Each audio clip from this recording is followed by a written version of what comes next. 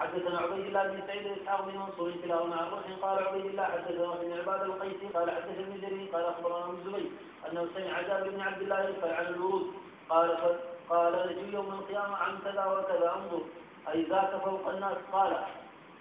فتدعى الامم بأوثانها؟ قال وما وما كانت تعبد الأول فلا ثم يأتينا ربنا بعد ذلك فيقول من تنتظر ننظر ربنا. فيقول أنا ربكم فيقول حتى ننظر اليه فسيتجلى لهم يضحك. قال فينطلق به ويتبعون ويعطى كل إنسان منهم منافق أو مؤمن نورا. ثم يتبعونه على جسر جهنم كلابيب وحسب تأخذ من شاء الله ثم يصل نور المنافقين. ثم ينزل المؤمنين فتنجو أول سورة وجوههم كالقمر ليلة البدر. سبعون ألفا لا يحاسبون ثم الذين يلونهم كأضواء نجم في السماء. ثم كذلك ثم تحل الشفاعة ويشفعون حتى يخرج من النار من قال لا إله إلا الله. وظن في قلبه من الخير ما يزن شعيرته.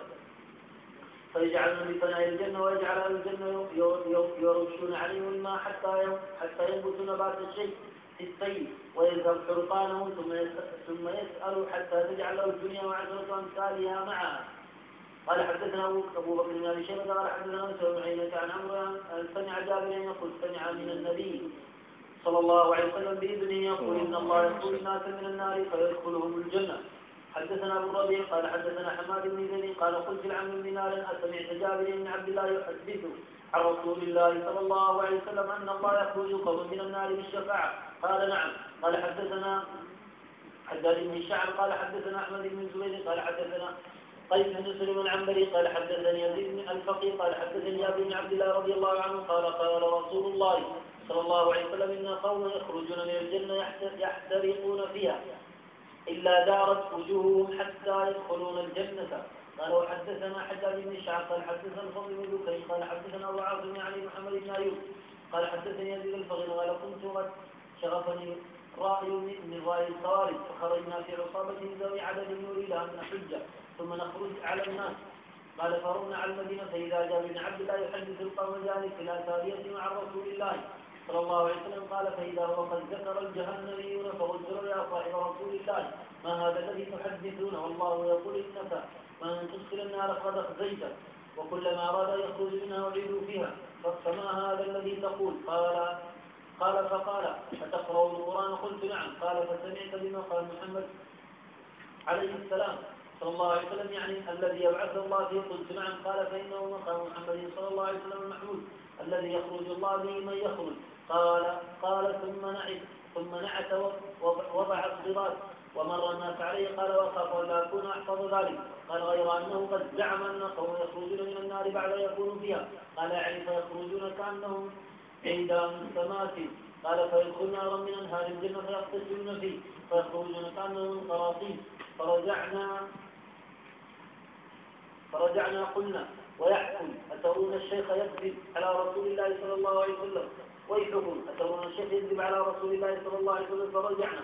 فلا والله ما خرج من غير رجل واحد أو كما قال نعيم قال حدثنا عبد بن خالد الأزدي قال حدثنا حماد بن سلمة عن أبي عمران وثابت عن أنس بن مالك رضي الله عنه أن رسول الله صلى الله عليه وسلم قال يخرج من النار أربعة فيعرضون على الله فيلتفت احدهم فيقول يا ربي إذا خرجتني منها فلا تعد فلا تعدني فيها فينجيه الله منها.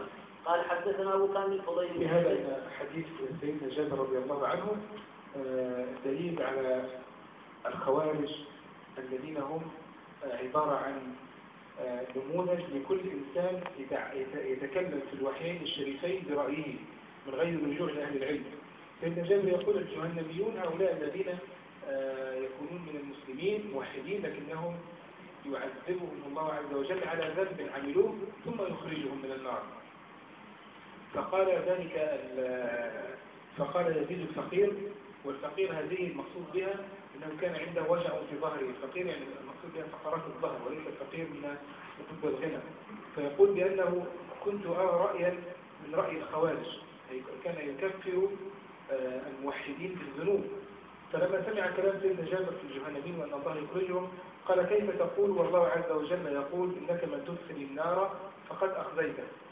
وهذا الذي جاء في قول من تدخل النار فقد أخزيته هذا متعلق بالكافرين وليس يتعلق بالموحدين.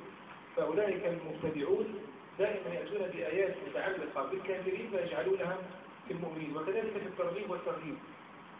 تجد أن الوعاظ عندما يراهبون الناس يراهبونهم بآيات الكفار ويأتون بها ويسقطونها على المؤمنين ترهيبا لهم.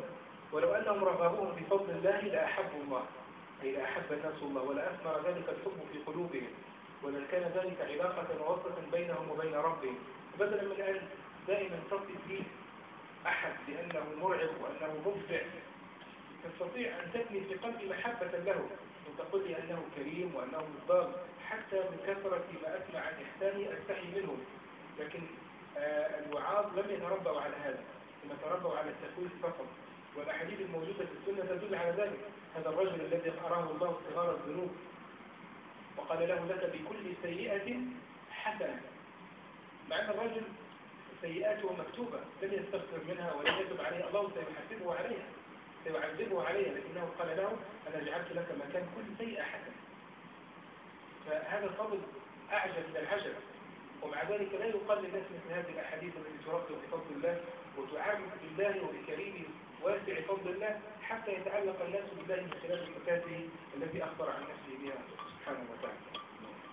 قال حدثنا أبو بكر الفضيل بن حسين الجحدري ومحمد بن عبد الله رضي الله بن أبي قال حدثنا أبو عوانة عن قتادة عن أنس بن مالك رضي الله عنه قال قال رسول الله صلى الله عليه وسلم يجمع الله الناس يوم القيامة فيهتمون لذلك وغلبوا عبيده فيلهمون لذلك فيقولون لو استشفعنا على ربنا حتى